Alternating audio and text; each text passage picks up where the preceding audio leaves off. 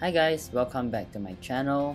Uh, today I'm here to be discussing a few new patch notes uh, that just surfaced from El Chico Eevee. These are just leaks. Um, they're not confirmed yet, but I do hope that they will indeed be confirmed because uh, these are some very big changes to the dynamics of a lot of Pokemon. So let's just jump right into it. Generally, as an overview, uh, the nerfs will be heavily nerfed on Dragapult, and the um, buffs will be Scizor Scyther, Glaceon, Talonflame, Gengar, Greninja, Cinderace, Decidueye, and Gyarados. And those that get both nerfs and buffs will be Mewtwo X and Y, uh, as well as Snorlax. But Snorlax, I'm pretty sure that they're all buffs as well. So I think buff is just buff includes Snorlax. Um, Mewtwo is just um, both nerfs and buffs. So it's just a short announcement. So adjustment. So let's jump right in into the new changes. Firstly, we have Gyarados. Gyarados on the Aqua Tail will get a reduced cooldown from 8 seconds to 6.5 seconds and the move change. I feel this is uh, this is crazy for its Aqua Tail moveset. It's definitely gonna create make Gyarados way more worth to evolve from Magikarp than before. So maybe it'll be more meta, I don't know, because previously uh, Gyarados is well known to be weak because it's easily exploited. Its early game is easily exploited by a good early game Pokemon from the opposing team. So, um, yeah, Magikarp. If it's if they don't buff Magikarp, I think Gyarados will still be as weak as it was before. Uh, second, we have a Waterfall. Waterfall uh, increased damage and uh, bounce. We get a move change. So, well, pleasant surprises. Perhaps we get more Gyarados gameplay in ranked. Uh, next would be Gengar. We get, uh, wow, an Omni buff. We get Sludge Bomb.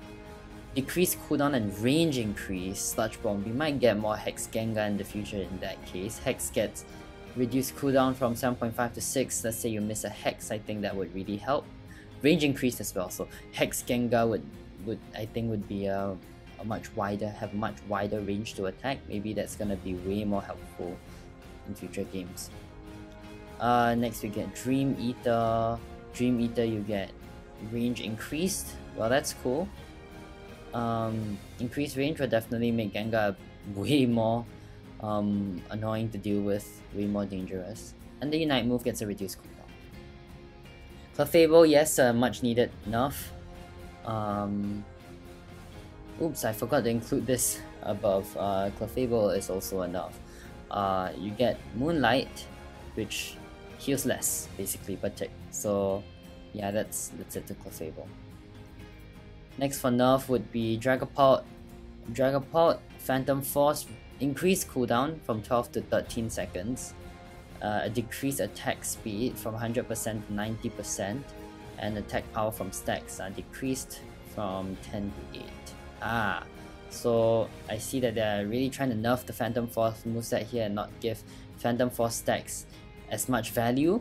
So perhaps you will see less Dragapult. I still think because Phantom Force is built on the fact that you are KOing people and you get uh, that immediate uh, move back, you don't need to care about the cooldown. So if you combo it properly and maybe you run it with a Blissey, perhaps Dragon Dragapult would not feel the nerfs at all.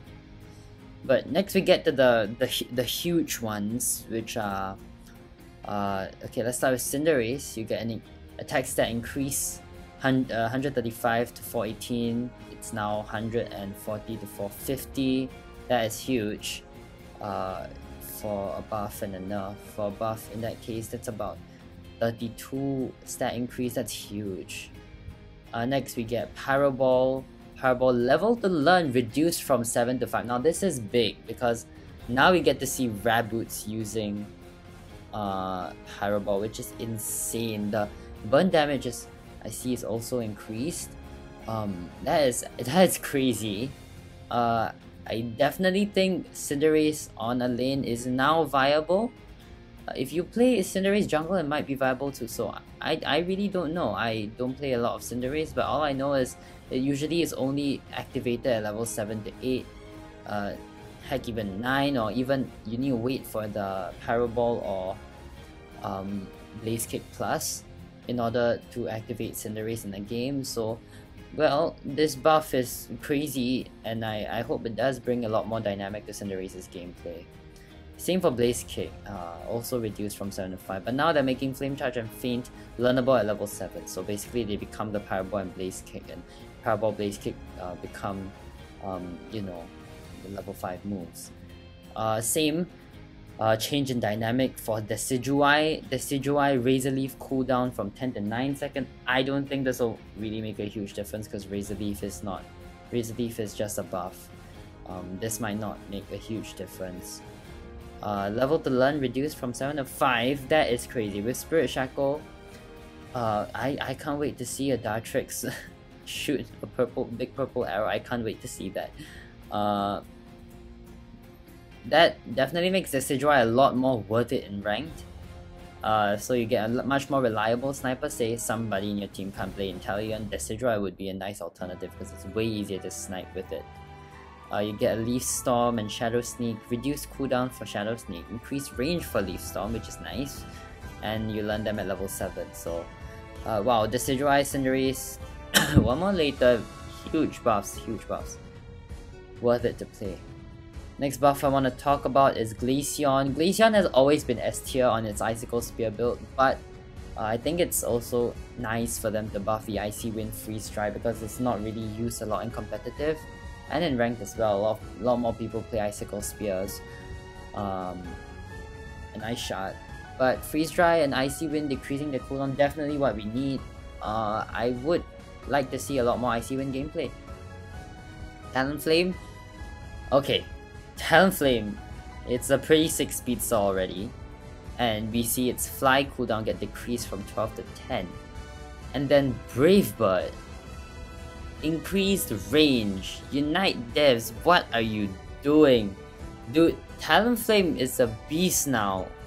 Like, honestly, you increase that Brave Bird, I know it might not seem like much, but but you increase the Brave Bird range, that that's you know how much Talon can poke Talon can catch up a lot more, can poke a lot further into their formation, and can steal objectives from a lot further away. That is amazing on Talonflame. I do hope I see a lot more Talonflame in competitive. Uh, we see Greninja. Okay, Greninja is also a huge buff like Decidueye and Cinderace. Uh, in saying that for Decidueye and Cinderace, uh, you get uh, a nice learn reduction here you get increased range from Greninja 6.5 to 7. A Water Shuriken also decreased cooldown. And you learn Surf and Water Shuriken at a reduced level at 5. Frogadier using Water Shuriken and Surf, can't wait to see that. Increased damage on Surf actually. And uh, Double Team and Smoke Screen, basically Double Team, Smoke Screen, uh, get a level swap with Water Shuriken and Surf, which is quite nice. I feel Greninja would be a lot more powerful at level 5, so you can sort of snowball from there once you get to level 7. And then Unite, Unite move gets a decreased cooldown. Okay, so so far very positive um, changes in the nerfs, but next I want to talk about my um, Snorlax, the defender, usually not very good, but now, I mean, a lot of people play, of course, Heavy Slam, Yawn. But now it's Flail and Block that gets a buff. Flail gets increased movement speed by 70% for 2 seconds, decreasing every 0.4 seconds by 14%. That was the original. Now it just decreases every 0.4 by 8 seconds. Means the Snorlax will be running a lot more, a lot faster, uh, a lot faster at you for Flail. Uh, then Block, you get a much greater shield. Yeah.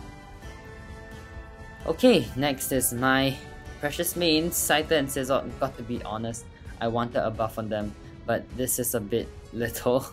Um, you buff Swords Dance, which is a move that I don't really use. But okay, perhaps Swords Dance cooldown 7 to 6. You're, you're gonna see a lot more Scizor attack weight uh, gameplay. So perhaps that that is taking a good step in the right direction uh, towards making Scizor, bringing Scizor back to the meta. I still think it will stay in uh, tier C, but uh, hopefully Scizor can get a nice rework so that it's as powerful as all-rounders such as Tsareena and Asia Aegislash. And next we get Mewtwo X and Mewtwo Y. Uh, of course now Pressure, you get the Aeos Energy Charge so it works like Zacian. And that's it for the patches, the nerfs and the buffs and everything. This um, this update is crazy honestly. Uh, a lot more dynamic to the gameplay for several attackers and I think this buff th there's nothing nothing really really eye-catching here in terms of uh, bad buffs or bad nerfs uh, but I do hope that we get to see more for example Hex Gengar gameplay uh, Greninja gameplay that we don't really see in ranked and competitive. Of course ranked we see them because a lot of people play those Pokemon but they don't know how to play it so now it's stronger at level 5. But that's it. Thank you everyone for watching. I hope you guys also enjoyed the nerfs and buffs. Let me know what you think in the comment section. Goodbye.